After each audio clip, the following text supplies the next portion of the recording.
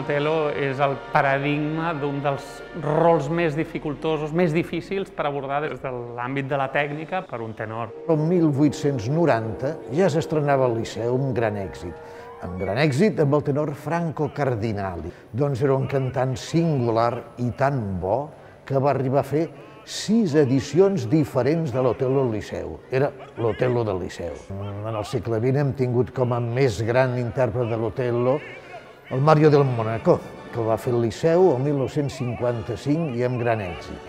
L'Otello ho té tot. A més a més, és un assumpte de resistència.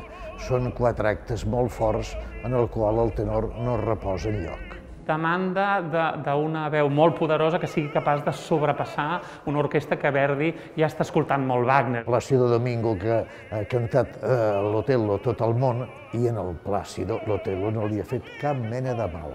Ramon Binai, tant o més, perquè era l'Otello de Toscanini, Toscanini, hereu d'aquesta gran tradició, havia estat segon xalista a l'Orquestra de l'Escala de Milà quan el propi Verdi estava dirigint l'estrena del propi Otello, amb la qual tenia i havia rebut una mica les informacions directes del propi Verdi. I després del Ramon Binai hem tingut aquí James McCracken, que era una veu esplèndida, de dramàtic, i últimament, les dues, dues últimes edicions, hem tingut el José Cura.